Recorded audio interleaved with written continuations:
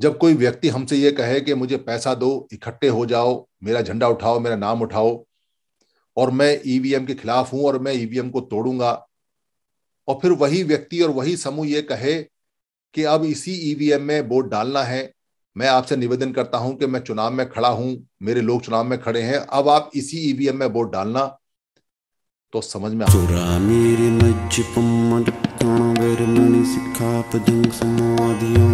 मेरे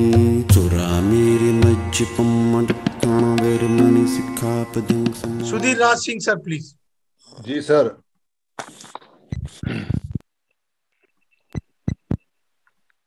एक बार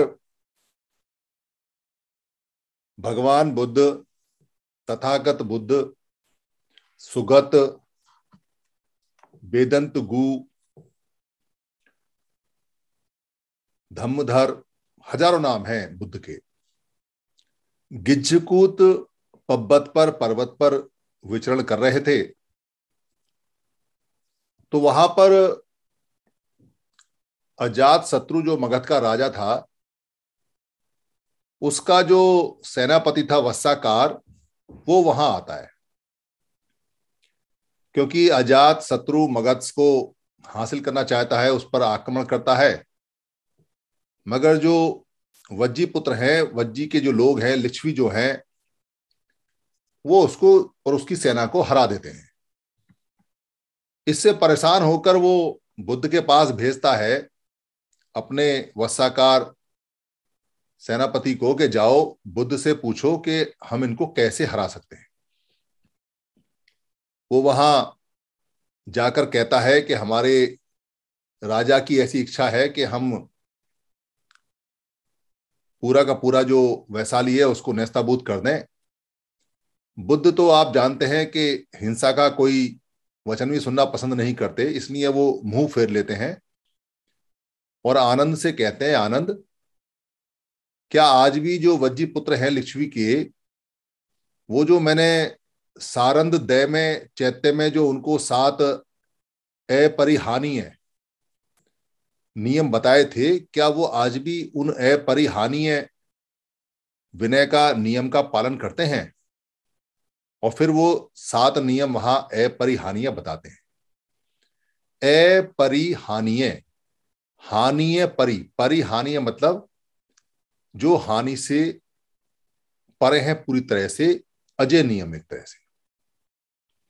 उन सात नियमों में दो नियम जो पहले हैं वो है कि वज्जी पुत्र जब तक एक साथ रहेंगे, एक साथ इकट्ठे रहेंगे, एक साथ सन्निपात बाहुल यानी लगातार बैठ के करेंगे, बैठकेंगे, बैठेंगे, मिलेंगे।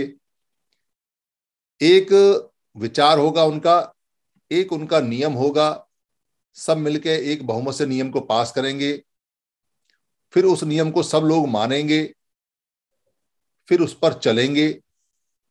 तब तक उनकी कोई हानि नहीं हो सकती, वो कभी युद्ध नहीं हार सकते। वो अजय हैं।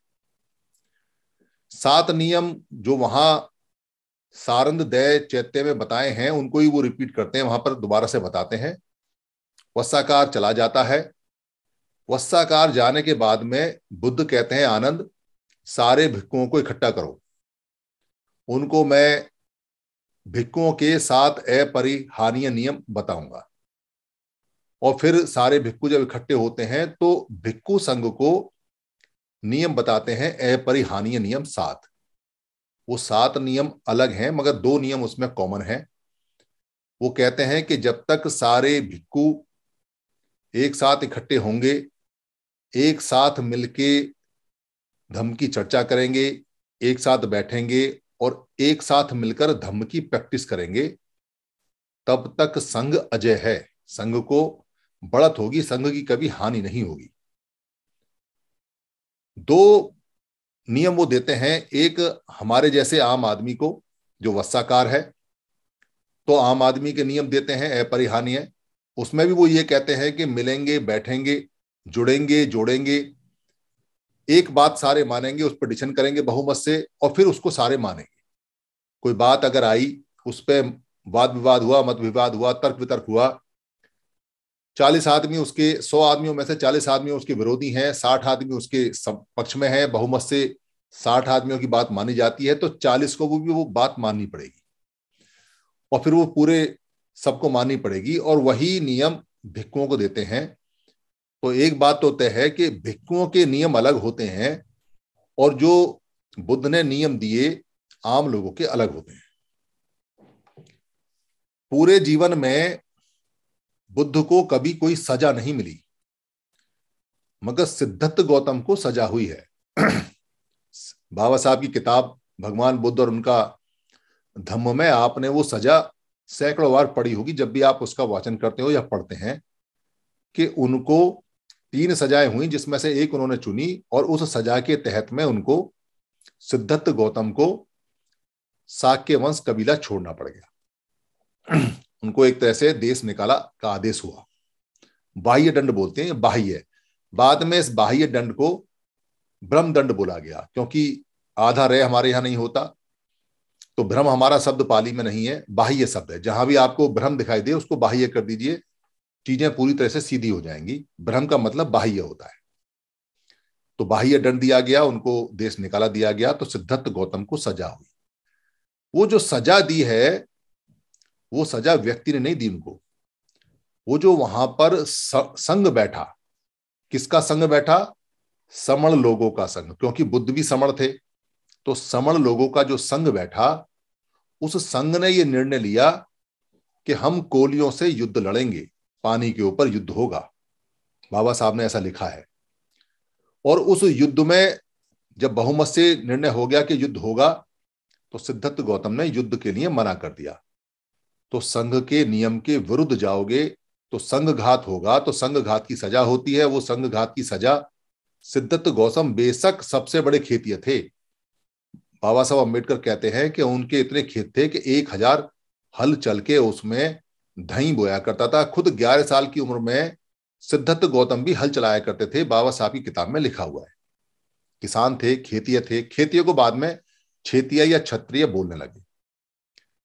उस संघ की इतनी ताकत थी कि जो शुद्धोधन यानी शुद्ध ओद, ओदन माने चावल होता है, शुद्ध माने साफ़, जो साफ़ चावल नाम है, क्योंकि चावल के ऊपर ही नाम पड़ते थे। शुद्धोधन अमितोधन ये सारे चावल के ऊपर नाम है। तो शुद्धोधन की जो सबसे बड़ा जो खेती है, वहाँ का था, जो सबसे ज़्यादा उसका रुतबा था, और उसकी प्रसन्नजीत से भी बड़ी दोस्ती अच्छी थी राजा से। उसको भी श्रवण संघ ने सजा दी, और वो सजा मानी गई, और छोड़ना पड़ा कबीला। तो संघ की ताकत और संघ के डिसीज़न और संघ में बैठना और संघ में उठना हमारे समण लोगों के खून में और जीन में है बुद्ध से पहले। और उसके नियम भी बुद्ध से पहले हैं।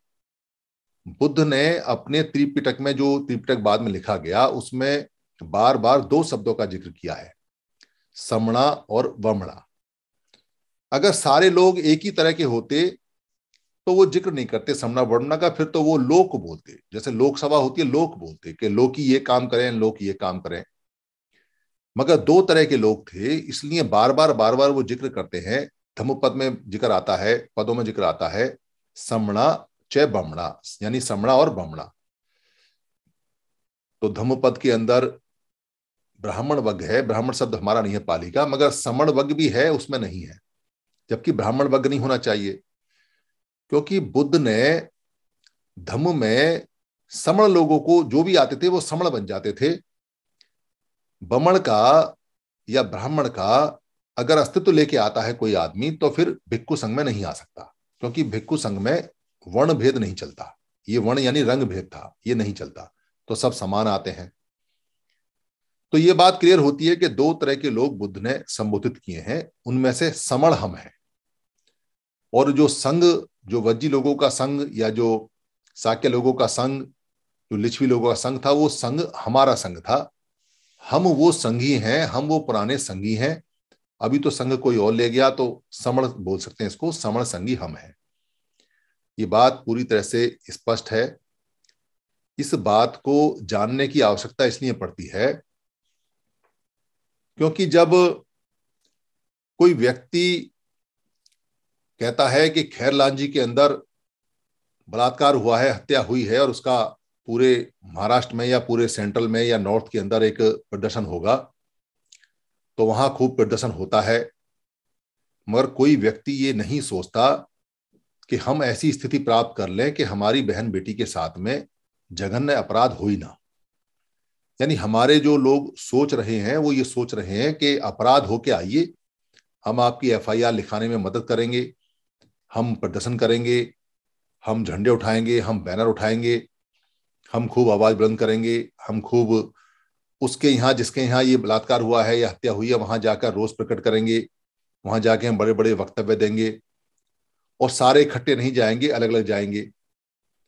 ये सोचें इस बात को, इस बात को सोचें कि जो पार्लियामेंट के अंदर पूरा का पूरा रिजर्वेशन भरा हुआ है, जो विधानसभा में पूरा का पूरा पॉलिटिकल रिजर्वेशन भरा हुआ है, वो रिजर्वेशन सारा का सारा शेड्यूल कास्ट और शेड्यूल ट्राइब नाम से जाता है।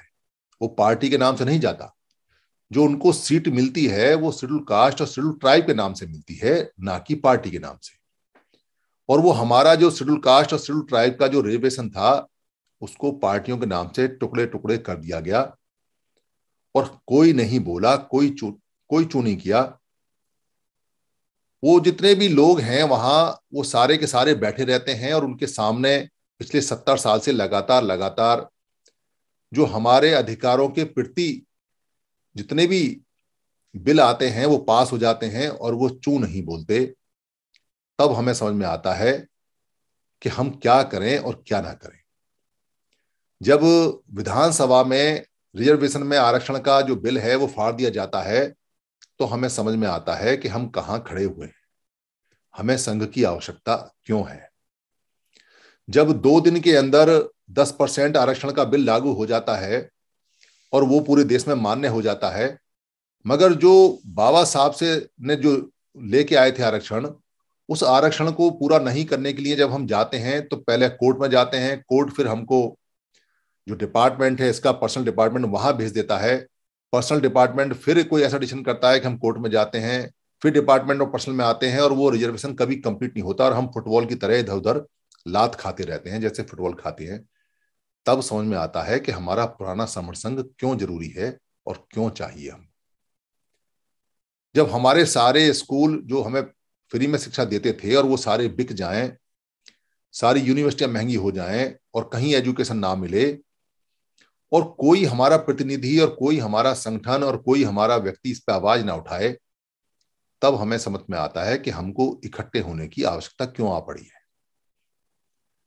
जब सारे के सारे सरकारी कर्मचारी डिपार्टमेंट, जितने भी सरकारी डिपार्टमेंट थे, वो एक एक करके बिक जाएँ और उसमें वीआरएस और सीआरएस दे के हमारे लोगों को निकाल दिया जाए और 20 परसेंट सिर्फ़ नौकरी हमारी रह जाए और वो भी अगले दस साल में खत्म होने वाली हैं और कोई सरकारी संगठन इस बात की आवाज़ ना उठाए, ना कोई प्रतिनिधि आवाज़ उठाए, ना कोई वो संगठन जो सरकारी कर्मचारियों के स्पेसिफिक खास तौर से बने हुए संगठन है, वो आवाज़ ना उठाएँ, तब हमको समझ में आता है कि समण संघ क्या चीज़ है और इकट्ठा होना क्या होता है।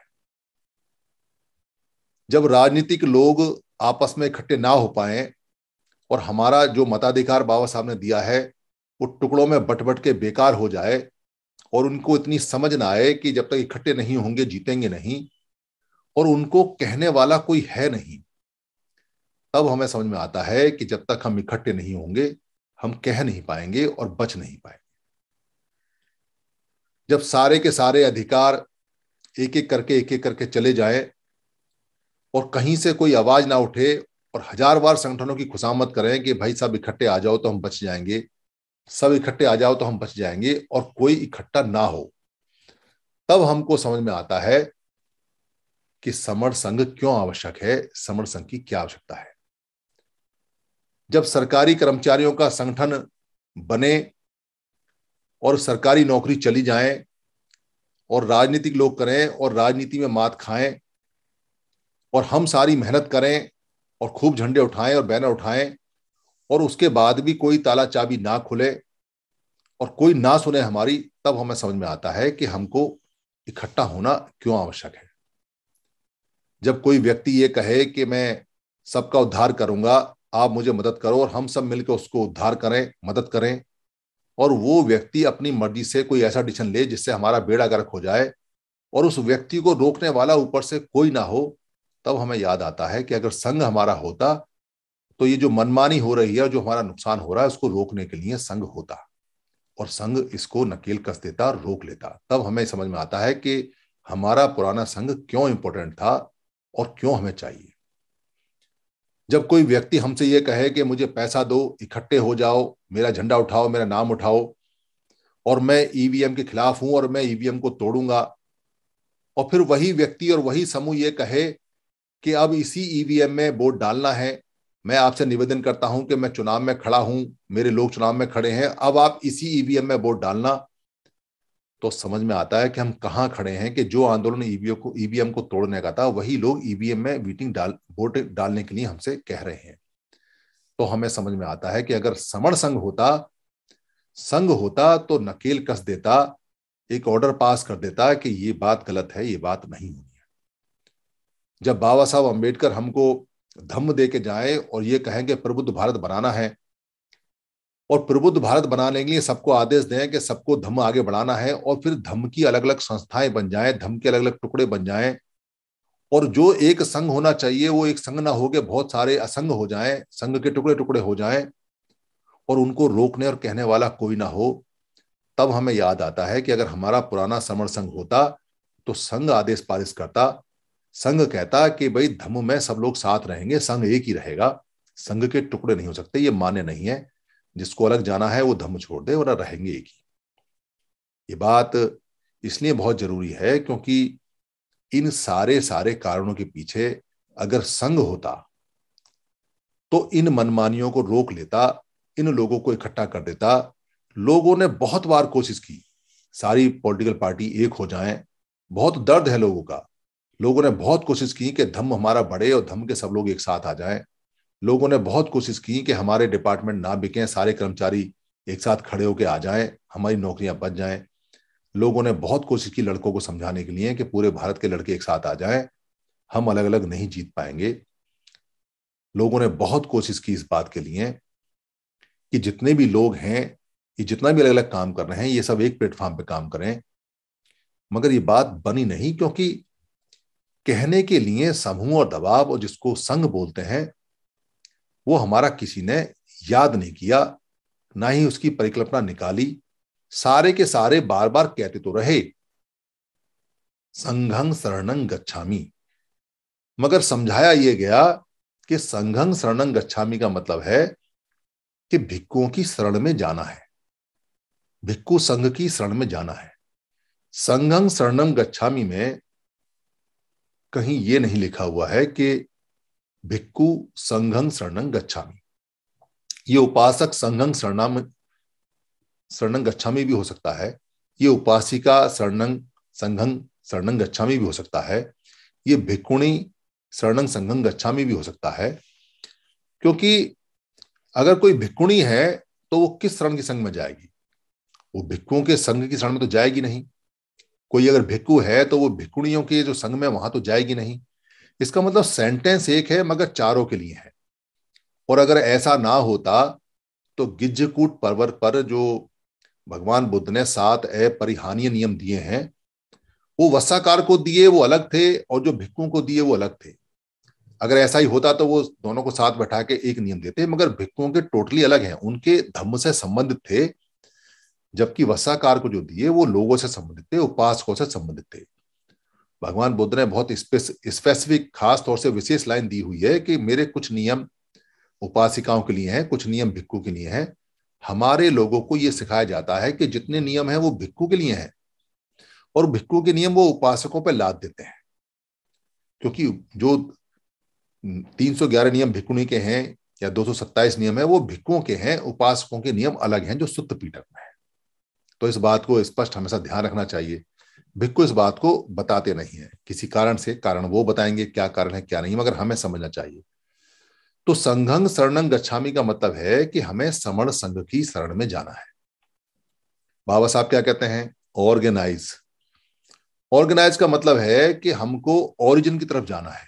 यानी कि हर एक व्यक्ति को जो ओरिजिन है, केंद्र है, उसकी तरफ़ जाना है। तो बाबा साहब ने कब ये कहा? कि आपको सौ ऑर्गेनाइजेशन बनानी है, आपको हज़ार ऑर्गेनाइजेशन बनानी है, आपको उनतीस लाख ऑर्गेनाइजेशन बनानी है। भाई, दुनिया के नंबर वन क्रांति सूर्य हैं विश्व रत्न हैं, बाबा साहब हैं, दुनिया झुक के सलाम करती है, उनसे ज़्यादा कोई जानकार नहीं पूरे आधुनिक दुनिया के अंदर मॉडर्न हिस्ट्री के अंदर। वो ये लोगों को ये कहेंगे कि भाई, आप इकट्ठे हो जाओ और उनतीस लाख संगठन बना लेना, चार लाख एक्टिवेट संगठन बना लेना। कोई इस बात को दुनिया में यकीन करेगा? कि बाबा साहब ये कह सकते हैं कि एजिटेट एजुकेट और ऑर्गेनाइज का मतलब है कि उनतीस लाख संगठन, जिसका जहाँ मर्ज़ी जाए, वहाँ संगठन बना लो। छह हज़ार सात सौ तैतालीस जातियों को तोड़ने के लिए बाबा साहब ने पूरी मेहनत की और उनको तोड़ दिया और पूरी पोटली में बाँध दिया, तीन बड़े बड़े हिस्सों में तोड़ के इकट्ठा कर दिया। जातियाँ तो वो खत्म करके चले गए थे। तो उन्होंने कुछ लोगों को एससी कहा, कुछ लोगों को एसटी कहा, कुछ लोगों को ओबीसी कहा। जिसकी जैसी क्षमता थी, जिसके पास में कुछ नहीं था, उसको एससी कहा। जिसके पास में खाने पीने की ज़मीन जायदाद थी, उसको ओबीसी कहा। जो जंगलों में रहते थे, उनको ट्राइब कहा सुल ट्राइब हो गया। तो 6743 की तीन सिस्टम बना के गए। वो भी मजबूरी में बना के गए। कोई खुशी से बना के नहीं गए। जातियाँ तो वो खत्म कर चुके थे। क्योंकि गांधी जैसे व्यक्ति ने उनका जो मेहनत किया हुआ सेपरेट इलेक्ट्रोल था, जो अंग्रेज़ों से समझौता करके लेके आए, उस सेपरेट इलेक्ट्रोल गांधी ने जबरन ज़बरदस्ती दबाव डालकर पूरे देश को उनके विरुद्ध भड़काकर, पूरे देश में प्रचार चला, गांधी मरेगा तो डॉक्टर अंबेडकर की वजह से। यानी कि ब्लेम, इतना मानसिक दबाव सिर्फ़ किस लिए कि जो सेपरेट इलेक्ट्रोल वो अंग्रेज़ों से लेके आए हैं, वो दे दें। और समझौता क्या कहते हैं? पूना पैक्ट। भाई, पूना पैक्ट का समझौता तो वो आज भी इलीगल है, क्योंकि जो पैक्ट बाबा साहब का अंग्रेज़ों के साथ हुआ था अगर उस समझौते का रिव्यू होना था, उस पैक्ट पे कोई बात होनी थी तो अंग्रेज़ होने चाहिए थे साथ में। तो अंग्रेज़ साथ में होते, बाबा साहब साथ में होते, तब गांधी अपनी बात कह सकता था। फिर कोई दोबारा समझौता होता रिव्यू होता तो वो मान्य होता। मगर यहाँ तो अंग्रेज़ है ही नहीं। यहाँ तो बाबा साहब को जैसे गुंडे घेर लेते हैं, ऐसे घेर के मजबूर किया, घुटनों पे टेका और ज़बरदस्ती साइन करवाया। ज़बरदस्ती हो सकता है साइन किए भी ना हो, किसने देखे? कोई लिखित में तो कहीं ऐसा ऐसा है नहीं। हो सकता फर्जी मान लिए हो, कुछ भी हो सकता है। मगर वो जो समझौता है वो इलीगल है, क्योंकि उसमें पार्टी जो अंग्रेज़ और बाबा साहब थे, उसमें अंग्रेज़ है ही नहीं। तो लीगल की, जो लीगल वैल्यू है उसकी वो ज़ीरो है। यानी कानूनी हिसाब से वो समझौता आज भी null and void and zero है। वो धमकी भरा समझौता है, वैसे ही फर्जी। जैसे कोई किसी की ज़मीन पे बिना कागज़ के चढ़ जाए, ठीक ऐसे। तो उसके बदले में कहा गया कि आपको 10 साल के लिए पॉलिटिकल आरक्षण मिल जाएगा और बाकी सरकारी नौकरियों में संख्या के हिसाब से इन नौकरियों में आरक्षण मिलेगा और प्रमोशन मिलेगा रिजर्वेशन में। ये बात तय हुई, प्रमोशन में रिजर्वेशन बाद में आया। तो कितना बड़ा काम खराब हुआ कि जो जातियाँ बाबा साहब ने खत्म कर दी थी, अब अगर आपको नौकरी मिलेगी, अब अगर आप एमएलए, एमपी बनोगे तो पहले आपको कास्ट का सर्टिफिकेट लेना पड़ेगा। तो कास्ट दोबारा से ज़िंदा हो गई, मजबूरी थी। समझदार लोगों ने उसका फ़ायदा लिया, मगर कास्ट को नहीं माना, वो बुद्धिस्ट होते चले गए। जो समझदार, जो बेवकूफ़ थे, वो कास्ट को चिपका के अभी भी चल रहे हैं। तो ये जो समझौता हुआ, ये जो लीगल हुआ, उससे कास्ट सिस्टम दोबारा से आ गया, जबकि बाबा साहब इसको खत्म करके गए। और बाद में जो हमारे लोग आए, उन लोगों ने इनको S C, S T OBC को फिर खोल दिया और खोलकर जाति के, पूरा का पूरा जाति का जितना भी सिस्टम था, जाति के संगठन बनाने शुरू कर दिए, जो बड़ी मेहनत से बाबा साहब ने खत्म किए थे। तो जब जाति के संगठन और जाति सर पर चढ़कर बोले और संगठन खुद इसको आगे बढ़ाए, तब संघ की ज़रूरत पड़ती है, क्योंकि संगठनों को रोकेगा कौन? संघ रोकेगा। और जब आप बार बार अपने भाषण में ये कहो कि संघ ने ऐसा किया, संघ ने वैसा किया तो संघ से लड़ने के लिए संगठन कैसे काम करेगा? संगठन तो उनतीस लाख है तो संघ से लड़ने के लिए संघ चाहिए। तब समझ में आता है कि हमारे महापुरुषों ने संघ क्यों बनाया था और क्यों संघ हमें ज़रूरी है? तो संघ जितना भी हमारे रगों में और हमारे जीन में है, वो सारा का सारा ऐसे ही दौड़ता है। क्योंकि संघ बनेगा तो फ़ायदा होगा, संगठन बनेगा तो फ़ायदा नहीं होगा, क्योंकि संगठनों से जितना फ़ायदा नुकसान होना था वो हो लिया। फ़ायदा ये हुआ कि कुछ ना से कुछ है यानी और नुकसान ये हुआ कि सारे के सारे अधिकार जितने भी थे सत्तर साल में, जो बाबा साहब लेके आए थे, वो सब चले गए। इन संगठनों के होते सोते अगर ये सारे संगठन एक हो जाते तो संघ बन जाता। जैसे किसानों के बत्तीस संगठन एक हो गए तो संघ बन गया तो उनके कानूनी अधिकार मिल गए उनको। वैसे ही अगर ये सारे के सारे संगठन उनतीस लाख हैं, अगर ये एक हो जाते तो संघ बन जाता। तो कोई कानून जाता ही नहीं। फिर खैरलान जी नहीं होता। फिर तो खैरलान जी जैसे जो लोग हैं, वो डर के सलाम किया करते? क्योंकि जब इकट्ठे जो लोग हो जाते हैं, वो शिकारी बन जाते हैं, शिकार नहीं होते।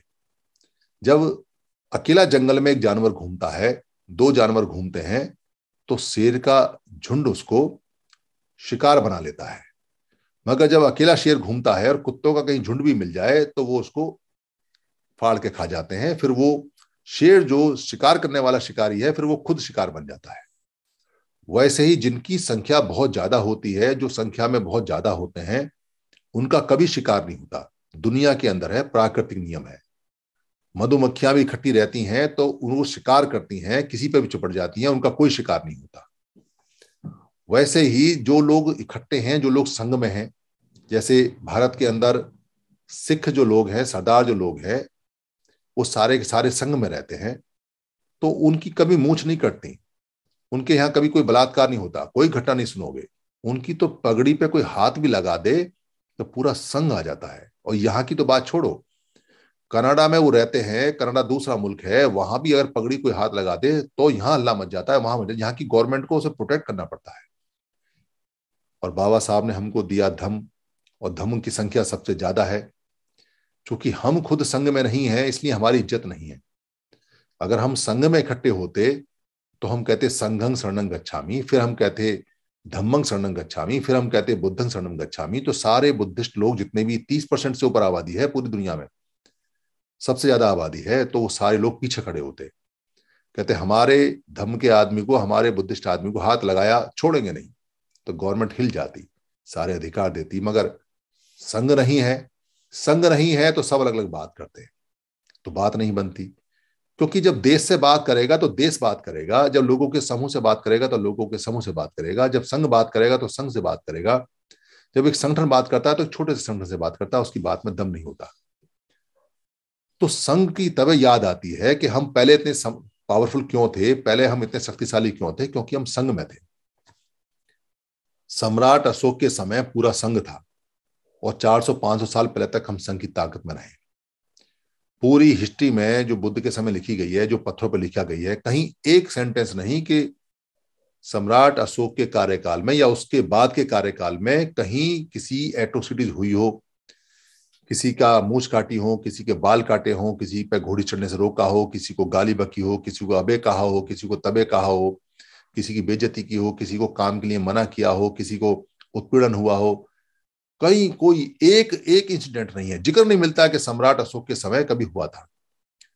तो ये तो बात तय है कि उत्पीड़न जो है, वो पहले से नहीं होता आ रहा है। अगर पहले से होता आ रहा होता तो किताबें भरी होती, उसका ज़िक्र आता। उत्पीड़न जब आना शुरू हुआ, जब ये सिस्टम हमारा संघ का टूट गया। लोग कहते, जाति से उत्पीड़न होता है। अरे भाई, जाति जो बनी है, वो संघों को तोड़ के बनी है। एक संघ के दो टुकड़े हुए दो के चार हुए, चार के आठ हुए, सोलह, बत्तीस, चौसठ, एक सौ अट्ठाईस, दो सौ छप्पन, पाँच सौ बारह, एक हज़ार चौबीस, दो हज़ार अड़तालीस, ऐसे करते करते करते करते छह हज़ार सात सौ तैतालीस टुकड़े हुए हैं। और बाबा साहब इस बात को समझ गए कि जातियाँ हवा में चलती हैं, जातियाँ किसी ने बनाई नहीं है, इसलिए उन्होंने खत्म कर दिया उनको। लोग कहते हैं जाति खत्म नहीं हो सकती। वो मूर्ख है वो लोग जो ये कहते हैं कि जातियाँ खत्म नहीं हो सकती। बाबा साहब तो खत्म करके गए हैं। अब तुम अंधे लोग हो, तुमको दिखाई नहीं देता तो कोई क्या करे? छह हज़ार सात सौ तैतालीस टुकड़ों के तीन टुकड़े कर दिए, तुमको समझ में नहीं आता कि आज के समय तुमको एस बोला जाता है एस बोला जाता है, एसटी बोला जाता है। मगर तुम होगे झंडे लेके घूम रहे हो, मेरी फलानी जात है, मेरा फलाना जाति है, मेरी फलानी जाति है, वो जाति छोड़ नहीं पा रहे हो जिसको बाबा साहब खत्म कर गए। बाबा साहब को तो मानते हो, मगर बाबा साहब की बात नहीं मानते। और उससे भी बड़ा फार्मूला देखे गए कि इन तीनों को भी खत्म करो। बुद्धिस्ट हो गए, समण हो गए, पुराने समण हो गए। तो बुद्धिस्ट कहना बंद कर दो, समण कहना शुरू कर दो। समण में और भी ज़्यादा ताकत है, क्योंकि समण में एस सी ओबीसी नहीं आता। सारे लोग समण हैं। अभी हमारे एक भाई कह रहे थे, मैं ओबीसी को लेकर नहीं आ पाया। अब उनको ओबीसी कहना बंद करो। अब वो समण है सारे। अब हम सारे के सारे समण हैं। समण है। अब OBC S C S T OBC का जमाना चला गया, क्योंकि S C S T OBC हम इसलिए इस्तेमाल करते थे ताकि हमको नौकरी मिल जाए। अब नौकरी नहीं है, इसलिए इसकी ज़रूरत भी नहीं है। एक नौकरी के अलावा या एक M M P M L A के फार्म भरने के अलावा, वहाँ टिकट लेने के अलावा इसका कोई काम ही नहीं है कास्ट का। कोई काम नहीं है। बाबा साहब इसको खत्म कर चुके हैं। अगर आपको नौकरी नहीं मिलती है तो इसका क्या करोगे कास्ट का? डाल दो इसे चूल्हे में। तो अभी डाल दो इसे, क्योंकि नौकरियाँ अब है नहीं। तो इतनी सारी मुसीबत, इतनी सारा जो परेशानी है, वो सिर्फ़ इसलिए आई क्योंकि संघ टूटा। लोग कहते हैं कि अनपढ़ थे इसलिए। अनपढ़ नहीं थे।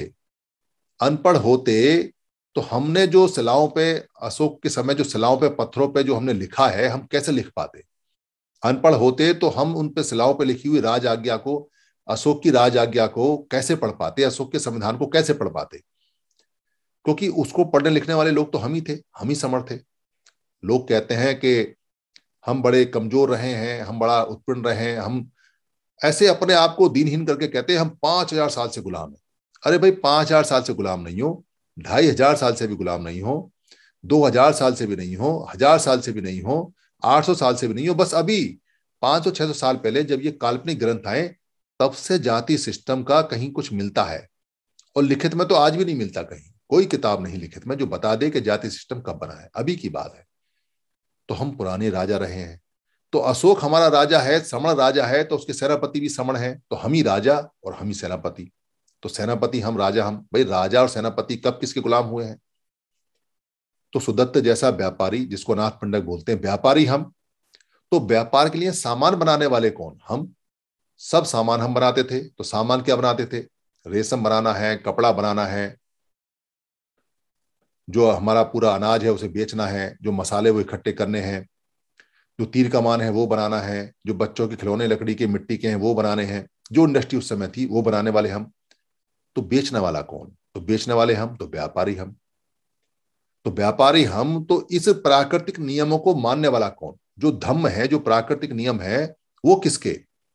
वो हमारे। तो बुद्ध का नाम वेदंत गुरु भी है, यानी वेदों जो वेदनाएँ हैं उसके अंत तक जाने वाला। वेदना जो शरीर में वेदनाएँ होती हैं जिसको आप सुखद वेदनाएँ बोलते हैं दुखद वेदनाएँ बोलते हैं ए, ए दुखद वेदनाएँ बोलते हैं उन वेदनाओं के अंत तक जाने वाला जो गुरु है उसको वेदंत गु बोलते हैं। तो वो कौन? वो बुद्ध है। तो यानी कि जिसको ज्ञाता बोलते हैं जिसको पंडित बोलते हैं जिसको जानकार बोलते हैं वो कौन? वो भी हम ही रहे हैं। तो भिक्खु कौन सारे? वो भी हम थे। तो पढ़ाने वाले कौन? वो भी हम थे। तो पढ़ने वाले कौन? वो भी हम थे। जब सारा सिस्टम हम चला रहे हैं तो हम दीनहीन कैसे हो गए? हम दीनहीन नहीं थे। हम तो राजा थे, हम तो व्यापारी थे, हम तो जानकार थे, हम तो पंडित थे, हम तो वेदंत गु थे हम तो सब कुछ थे। पर तब तक थे, जब तक हम संघ ही थे, संघ में रहते थे। संघ के टुकड़े हुए तो हम गुलाम होना शुरू हुए। पढ़ाई लिखाई जाने से नहीं हुए, संघ जाने से पढ़ाई लिखाई गई है। संघ चला गया तो कमज़ोर होते गए तो संघ को तोड़ा। तो जैसा बुद्ध ने बताया वहाँ कि ये सात अपरिहानीय नियम है तो हमने साथ साथ बैठना छोड़ दिया। इसलिए हमारी हानि हुई। ये बुद्ध बताते हैं, हमने मिलना जुलना छोड़ दिया, इसलिए हमारी हानि हुई। हमने आपस में बातचीत करना छोड़ दिया, इसलिए हमारी हानि हुई। हमने आपस में बैठ के खाना खाना छोड़ दिया, इसलिए हमारी हानि हुई। हमने एक दूसरे को जानना छोड़ दिया, बल्कि हम विरोध में आ गए इसलिए हमारी हानि हुई। तो इसको सिस्टम को धीरे धीरे डेवलप किया गया, हमारे अंदर बुराइयाँ डाली गई। शराब की, हमारे अंदर बुराई डाली गई, चोरी की व्यवचार की, झूठ बोलने की, हत्या की। ये पंचशील जो हमसे चला गया, तब हमारा संघ टूटना शुरू हुआ। पंचशील जाने के बाद, तब तक पंचशील था, तब तक संघ नहीं टूटा। तो बुराइयाँ सारी की सारी आई और संघ टूटना हुआ। ये बुराइयाँ अपने आप नहीं आई हैं इनको बुद्ध के सिद्धांतों को देखते हुए उन लोगों ने डाला जो फ्री का खाते हैं, जो काम नहीं करते। तो कहते हैं, फ्री का कैसे खाते हैं? किताबें बताती हैं कि हम लोग समर्थ थे, हमारे दरवाजे पे हमेशा एक याचक गरीब ब्राह्मण आता था। सारी कहानी में आता है, एक गरीब याचक ब्राह्मण, एक गरीब याचक ब्राह्मण। पर आधा सेंटेंस बताया जाता है, पूरा सेंटेंस नहीं बताते। पूरा सेंटेंस क्या है? एक गरीब याचक ब्राह्मण समण के दरवाजे पर याचना करता है। भोजन दे दो, पिंड पात दे दो, पिंड दे दो, ये पूरा सेंटेंस है। क्योंकि समणों के, समण तो काम करने वाले लोग हैं। जब कोई किसी बाहर से विदेश से कोई व्यक्ति आता है हमारे देश में, अगर वो पैसे लेके आता है तो अच्छे होटल में ठहरेगा, खाना बढ़िया खाएगा। अगर कोई पैसे लेके नहीं आता है तो क्या करेगा? तो याचना करेगा। तो जो लोग बाहर से आए, वो याचक थे, याचना करते थे। तो उनको काम कौन देगा? कोई काम नहीं देता। कहता भाई, क्या काम करेगा? तो कहते, बच्चे की टट्टी उठा ले, यहाँ झाड़ू लगा दे, चलिए खेत में जरा सामान उठा दे। लेबर का काम मिलता है। कहते जी, लेबर का काम मिलता है, कहाँ प्रूव होता है? होता है ना? जब बुद्ध एक्सपायर हुए और बुद्ध की जब अस्थियाँ, जो हड्डियाँ थी, जब उनको डिवाइड करने लगे तो एक मजदूर की आवश्यकता हुई। तो मजदूर आया, मजदूर से कहा कि, ये जो राख है और जो हड्डियाँ हैं, इनको आठ भागों में डिवाइड कर दो। तो आठ भागों में उसने एक वहाँ पे जो कपाल करके एक हड्डी टाइप का जो बटन था, उससे उसने वो किया और करने के बाद में वो आठों के आठों जो लोग थे, वो आठों के आठों लोग लेके चले गए, जो बुद्ध के अनुयायी थे। तो जो कपाल बचा, उसको उस लेबर को दे दिया। उस लेबर का नाम दौड़ था। तो उसको दे दिया। तो ले जा भाई तेरी, ये ये तेरी मजदूरी है। इसलिए ये लोग सारे के सारे लेबर थे, मजदूर थे, याचक थे। ये बात पूरा साहित्य बताता है हमेशा। कहीं आपको एक लाइन नहीं मिलेगी एक गरीब याचक समण। एक सिंगल लाइन नहीं मिलेगी आपको कि समण कहीं याचक था या गरीब था। समण तो रिच लोग थे, हम तो रिच लोग थे, हम देश के शासक हैं। इसलिए ये कहना बंद कर कि हम ढाई हज़ार साल से उत्पीड़न में है, फलाना है ढहना है, कोई हम उत्पीड़न में नहीं है। हम सिर्फ़ अलग अलग हैं। तो बाबा साहब ने इस बात को समझा, इस बात को देखा कि भाई हम इसलिए पिट रहे हैं हमारे इसलिए अधिकार जा रहे हैं क्योंकि हम छह हज़ार सात सौ तैतालीस जातियों में अलग अलग हैं तो उन्होंने फ़ौरन जातियाँ जोड़ दी। भाई, जातियाँ बाबा साहब ने जोड़ दी तो वो लोग भी तो जानते हैं कि इनको जातियाँ अगर जुड़ गई तो नुकसान हो जाएगा तो उन्होंने तोड़ दी। उन्होंने जो ये पूना पैक्ट था उसमें लेके फिर जातियाँ खोल दी, पूरी नहीं खुल पाई। तो बाबा साहब ने दूसरा रास्ता दिया कि धर्म में चले जाओ, लोगों ने वो अपना नहीं, लोग जाने, उनका काम जाने। मगर एक फ़ायदा हुआ कि बाबा साहब ने जब ये देखा तो बाबा साहब ने एक संविधान बना दिया जो समण के संघ के विनय के नियम पर है। सारा का सारा संविधान वही है। उससे क्या हुआ कि हमारे लोग आपस में जुड़ने लगे। बाबा साहब ने जब उनको एस सी कहा तो एस सी के नाम से बहुत सारे संगठन बने तो थोड़े बहुत जुड़े, जुड़ने लगे। पूरा फ़ायदा तो नहीं हुआ। फिर बाद में वो टूटने भी लगे, उनका फ़ायदा नहीं हुआ। तो संविधान सारा सारा समण संघ का जो गणराज्य है, भारत गणराज्य संघ है, उसकी प्रकल्पना और जो बुद्ध के नियम जो बुद्ध ने बनाए और उससे पहले जो नियम थे, उन्हीं पे बने। तो वो लोग भी तो होशियार हैं तो उन्होंने कहा भाई संविधान ही मत मानो तो संविधान खतरे में आ गया। तो संविधान बचाने के लिए जब हर संगठन चिल्लाए कि संविधान खतरे में है, मगर ये ना समझ पाए कि संविधान तब बचेगा जब सब इकट्ठे होंगे, तब समण संघ की आवश्यकता पड़ती है, तब समण संघ की ज़रूरत पड़ती है। क्योंकि संविधान ये कहता है, जिसकी जितनी संख्या भारी, उसकी बात मानूँगा। तो लोग कहते हैं, ये बात तो हमें समझ में नहीं आई तो भाई समझ लो। दो अप्रैल को जब आपका S C S T atrocities act निकाल के फाड़ दिया गया, एक नियम हटा दिया गया तो वो नियम सरकार में बैठे लोग जो थे, हमारे लोग थे, उन्होंने नहीं रोका, उन्होंने तो तोड़ा उसको। और सारे लोग उसके अगेंस्ट में हो गए। यहाँ तक कि संगठन भी नहीं आए मैदान में तो संघ आया। तो सारे लोग इकट्ठे हो गए तो संघ में आ गए। तो अपने आप नेचुरल खून में जो जीन में था, वो संघ इकट्ठा हो गया। तो सरकार को बात माननी पड़ी, संविधान को माननी पड़ी और पन्ना जुड़ गया। इसका मतलब यह है कि संघ में ताकत है और हम संघी हैं, हम इकट्ठे हो जाते हैं। जो लोग ये कहते हैं कि हम इकट्ठे नहीं होते हैं, वो मूर्ख लोग हैं। दरअसल वो हमारी शक्ति को पहचानते नहीं है या वो हमारी शक्ति से डरते हैं। तो हम इकट्ठा होना जानते हैं, हम इकट्ठा होकर दिखाया हमने। तो इस इकट्ठा होने के कार्यक्रम को सारे संगठनों से हमने अपील की। सबसे हमने कहा भाई इकट्ठे हो जाओ, नहीं तो मारे जाओगे। उनको ये बात समझ में नहीं आई तो हमने कहा, भाई भाई इकट्ठे हो जाओ, वरना तुम मारे जाओगे। उन्होंने कहा, हम कैसे मारे जाएँगे? अरे भाई, तुम्हारा जो संगठन है, वो हमारे जैसे साधारण लोगों से चलता है। और जब हम ही खत्म हो जाएँगे, हमारे पास नौकरी नहीं होगी, चंदा ही नहीं होगा, धंधा नहीं होगा तो तुम कहाँ बचोगे? ये बात उनको समझ में आई तो उन्होंने कहा, इकट्ठे तो हम हो जाएँगे, पर नेता कौन रहेगा, ये बताओ। हमने कहा, भाई, तुम में से कोई नेता बन जाना। हम तो सबको नेता मान लेते हैं, पर इकट्ठे हो जाओ। उनमें नेता का झगड़ा चलता रहता है। उनमें इकट्ठे होने की दिक्कत नहीं है। उनमें दिक्कत ये कि पहले नेता मानो। उनसे कभी मर जाएँगे, हम तुम नेता में झगड़ा लगे हो। ये नेता नेता खेलना बंद करो। कह रहे, जी, नहीं, नेता नेता नहीं, खेलना बंद कर सकते। हम तो रात को जब सोते हैं तो सीएम की शपथ लेके सोते हैं और सुबह को उठते हैं तो पीएम की शपथ लेके सोते हैं। हमारा तो सपना है। अगर ये सपना टूट गया, हम तो वैसे ही मर जाएँगे। तो हमको समझ में आ गया कि भाई, ये ना इकट्ठे हो किसी भी हालत में, इनका मामला कुछ और है तो चलो हम इकट्ठे हो जाते हैं। तो पाँच मई से जूम पर ऐसे ही अनानयासी बातचीत करने लगे, बातचीत करने लगे और पता चला कि हज़ारों, लाखों लोग हैं जो परेशान हैं और जो ये ढूंढ रहे हैं कि कहीं हम इकट्ठे हो जाएँ। तो समर संघ के नियम धीरे धीरे आने लगे। कौन से नियम आने लगे? समर संघ हमारा पुराना है, संघ है। इसके फाउंडर बुद्ध से भी पहले हमारे दादा, दादी, परदादा, परदादी, नाना, नानी, परदादा, परदानी, ये सब है। और वही संघ है दोबारा से। तो पता चला कि इसमें पैसे नहीं लिए जाते थे पहले। तो ये नियम बना के भाई श्रमण संघ कभी भी ज़िंदगी में पब्लिक से पैसे नहीं लेगा, ज़िंदगी में नहीं लेगा। पैसे की ज़रूरत नहीं, हमें आदमी इकट्ठे करने तो श्रमण संघ में पता चला कि सब लोग अपना खाना लेके आते थे और बैठ के खाते थे। तो नियम बना के भाई सब लोग अपने अपने घर से खाना लेके आएँगे और एक साथ बैठ के खाएँगे। तो पता चला कि श्रमण संघ का कोई नेता ही नहीं है आज तक। पूरी हिस्ट्री में कोई नेता ही नहीं है। तो बोले, भाई, यहाँ भी कोई नेता नहीं रहेगा। यहाँ सब बराबर रहेंगे। तो पता चला कि समर संघ में सब ज़मीन पर बैठा करते थे एक साथ, कोई ऊपर नहीं बैठता था। तो बोले, भाई, यहाँ भी सब ज़मीन पर बैठेंगे और कहीं अगर कुर्सी पे बैठना पड़ेगा तो सब अपनी अपनी कुर्सी का पैसा देंगे और कुर्सी पे बराबर बैठेंगे। तो पता चला कि समर संघ में कोई मंच माला माइक नहीं होती थी। तो बोले, भाई, यहाँ भी नहीं होगी। ज़िंदगी में कभी कोई ना मंच होगी, ना माला होगी, ना कोई माइक होगा। तो पता चला कि समर संघ में कोई भी प्रधान नहीं होता जो सभा चलती है, उसमें हाथ के आती किसी ना किसी को वहाँ संचालक बना देते हैं, उसके बाद वो मीटिंग खत्म होती है, संचालक खत्म। बोले, भाई, यहाँ भी ऐसे करेंगे। तो पता चला कि समर संघ कभी भी राजनीति में नहीं गया। उन्होंने राजनीति को दूर रखा। तो भाई, यहाँ भी ये निर्णय किया कि समर संघ कभी भी ज़िंदगी में राजनीति में नहीं जाएगा। सीधे तौर से नहीं जाएगा।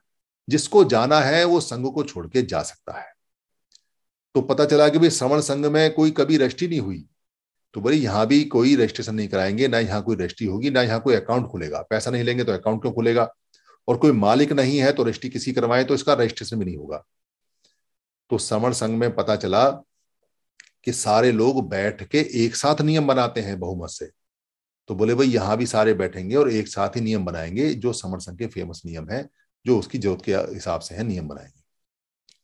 तो समर संघ में पता चला कि समर संघ में सदस्यता के लिए मेंबरशिप के लिए कोई फॉर्मेलिटी नहीं है। ना तो कोई फार्म भरा जाता है, ना कोई किसी से पूछा जाता है कि तेरा क्या नाम है, क्या जात है, क्या पात है, क्या वर्ण है, कहाँ से आया है, गोरा है, काला है, मोटा है, छोटा है, कैसा है, कैसा नहीं, कोई नहीं पूछा जाता। तो भाई कौन होता है समण संघ का मेंबर समण संघ का मेंबर वो होता है जो समण पैदा हुआ है। यानी जो समण समाज में पैदा हो गया, चाहे वो देश में या विदेश में, वो उसका मेंबर होता है। तो भाई ये बात क्लियर हो गई कि जो जहाँ भी समण है, वो सब इसके मेंबर हैं।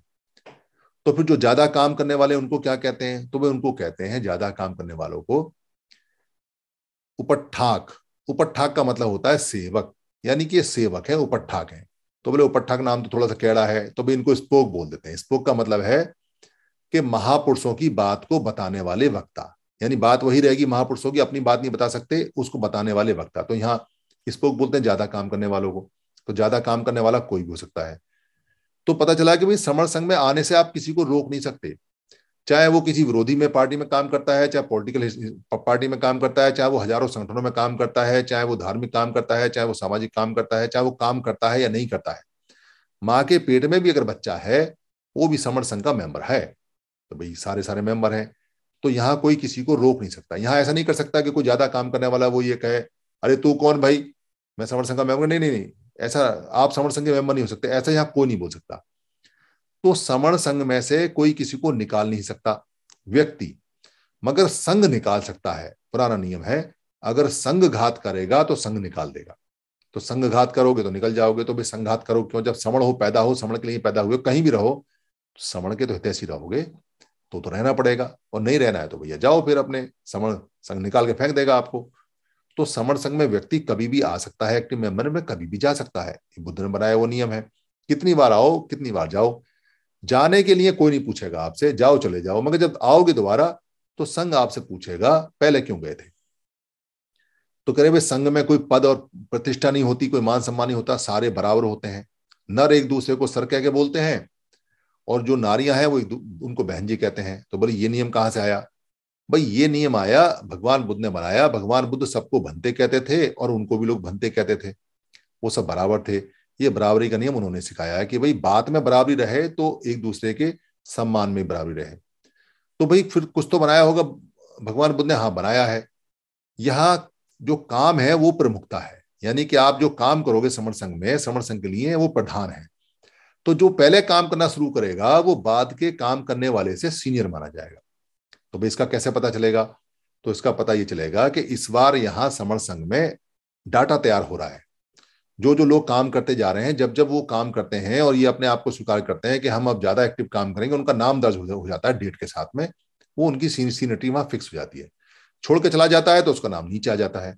यानी काम करेगा तो सीनियरिटी बनती रहेगी। जैसे मैं यहाँ काम कर रहा हूँ तो मेरा कोई नंबर है, जो लिस्ट बनी हुई है, उसमें उसमें नंबर है। अगर मैं काम छोड़ देता हूँ तो वो नंबर मेरा खत्म। फिर मेरा जो नंबर दोबारा से स्टार्ट होगा, वो फिर नीचे से लगेगा।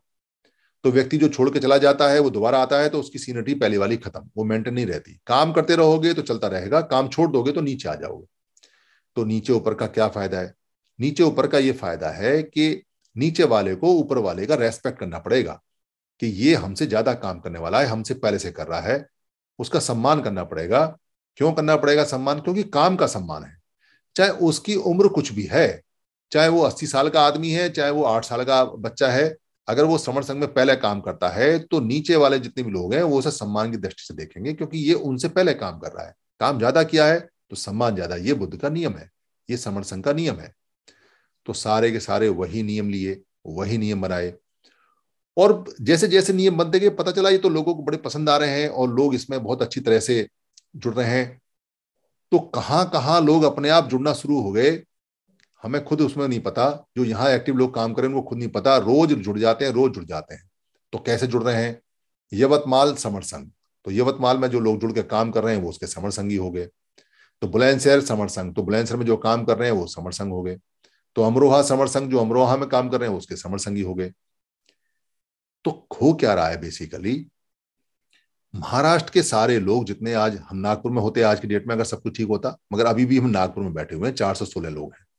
तो बात कर रहे हैं हम, किससे बात कर रहे हैं? हम अपने पुराने समर संगियों से, पुराने बहन भाइयों से बात कर रहे हैं। हम जुड़ रहे हैं और हम जोड़ रहे हैं।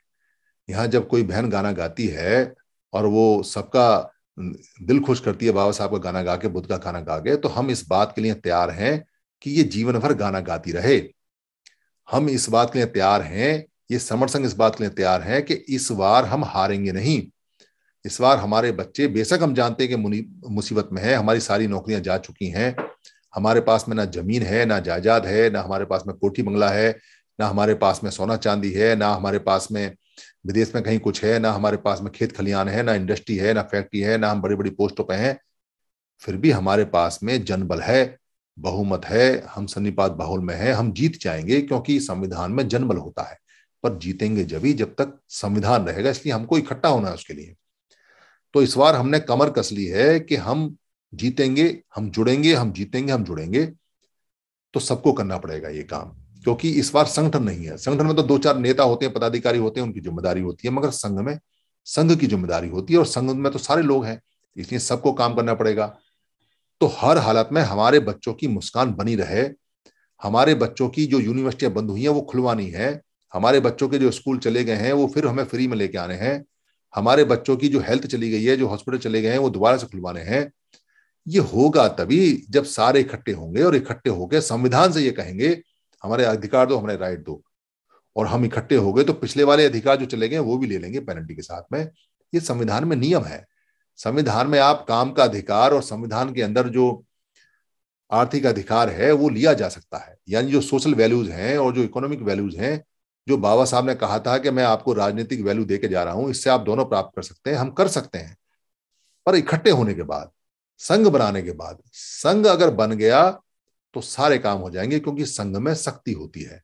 और अगर संघ नहीं बना तो हम कोई काम नहीं कर सकते। फिर हमको आगे हांडी थूकने के लिए और पीछे झाड़ू के लिए अपने बच्चों को कह के जाना चाहिए, तैयार हो जाना चाहिए। क्योंकि भगवान बुद्ध 143वें 144वें धमपद में कहते हैं कि जो घोड़े होते हैं, वो कई प्रकार के होते हैं। जो सबसे अच्छा घोड़ा होता है, जिसको संयत करते हैं, दमित करते हैं, जिसको सिखाते हैं, वो इतना समझदार होता है कि घोड़े सिखाने वाला चाबुक को सिर्फ़ हवा में लहराता है और वो उसकी परछाई से समझ जाता है कि मुझे ये काम करना है। तो हमको वैसा घोड़ा बनना है कि हमें मुसीबत आ रही है तो तुरंत समझ के काम पे लग जाना है। हमको ऐसा घोड़ा नहीं बनना है जो भगवान बुद्ध कहते हैं, उसी उसमें कैसे भी घोड़े होते हैं, जिसका मालिक कितना ही मारे कितना ही फटकारे, कुछ भी करे, वो चू चपड़, वो हिलता भी नहीं वहाँ से। अगर हम ऐसे हो गए तो हम खत्म हो जाएँगे, क्योंकि खाएँगे क्या? काम हमारे पास है नहीं, रोज़गार हमारे पास है नहीं, ले दे के एक नौकरी चली गई, वो नौकरी अब आने वाली है नहीं। हाँ जुड़ जाएँगे इकट्ठे हो जाएँगे तो सब आ जाएगा। जब तक संविधान है, तब तक है, और ये बाबा साहब का बुद्ध का साफ़ साफ़ कमांडमेंट है कि आपको ऑर्गेनाइज होना है तो एक साथ होना है एक धागे में बंधना है और आपको संघ की शरण में जाना है तो संघ एक ही होता है, दो नहीं होते इसलिए जिद्द है हमारी जुड़ने की, जिद्द है हमारी जोड़ने की। जुड़ेंगे, जीतेंगे जीतेंगे ज़रूर। इस बार हम हारेंगे नहीं और हम ये भी नहीं कहेंगे कि अगर हम जीतेंगे नहीं, चाहे हम मर जाएँ, चाहे हम कुछ हो जाए, मरने का नाम नहीं लेना है। जिंग, ये जो गाल हमारे मोटे मोटे हुए हैं, हमारे बच्चों के, इससे भी मोटे मोटे करने हैं। कमिटमेंट है। एक अकेले बाबा साहब इतने सारे पत्थर तोड़ के चले गए। हम सारे के सारे बाबा साहब की औलाद हैं। कोई ऐसे ही जाएगा क्या? सिर्फ़ संघ बनाना है। सिर्फ़ संघ बनाना है। संघ बनाते ही सारी मुसीबत चली जाएँगी क्योंकि हर काम के लिए लोग पहले इकट्ठा करते हैं। हम पहले इकट्ठा होंगे, काम ऑटोमेटिक अपने आप हमारे कदमों में आ जाएगा। जैसे दो अप्रैल अट्ठारह को हुआ, जैसे सिखों ने सिर्फ़ इकट्ठे हुए काम हुआ, जैसे दुनिया के अंदर अभी कनाडा के अंदर भी आंदोलन चल रहा है वहाँ भी संघ बन गया। उनके भी वहाँ ट्रक व्रक खड़े हुए हैं गवर्नमेंट को मानना पड़ा। ऐसे ही सारी दुनिया में जहाँ जहाँ संघ बनते हैं वहाँ गवर्नमेंट तुरंत बात को माननी है। यही काम करना है यही आगे बढ़ना है। धन्यवाद। साधु साधु साधु। Sado, sado, sado. Sado, sado, sado. Sado, sado, sado. Sado, sado, sado. Gabriel, excellent. Sado, sado, sado. Sado, sado, sado.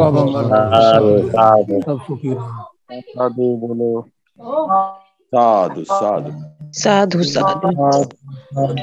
Sado, sado.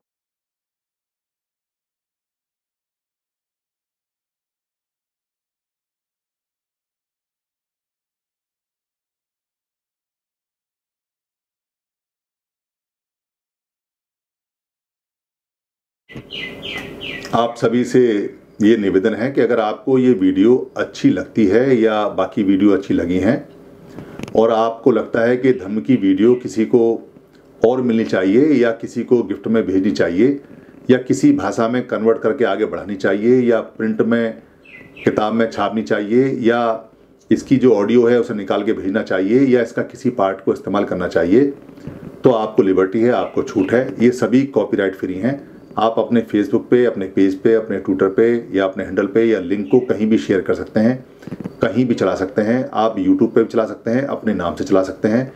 इसके लिए इजाज़त लेने की या परमिशन ले, लेने की बिल्कुल भी ज़रूरत नहीं है। आप इसको अपना मान के चलाएँ, क्योंकि धम्म सबका है। हम जो बताते हैं, वो भगवान बुद्ध का है या महापुरुषों का है। उन्हीं की बात को सरल भाषा में बताते हैं। हमारा सिर्फ़ इतना राइट है इस पर कि हम इसको लोड कर देते हैं। बाकी सारी ये पूंजी आपकी है। धन्यवाद। तं शरणं गच्छामि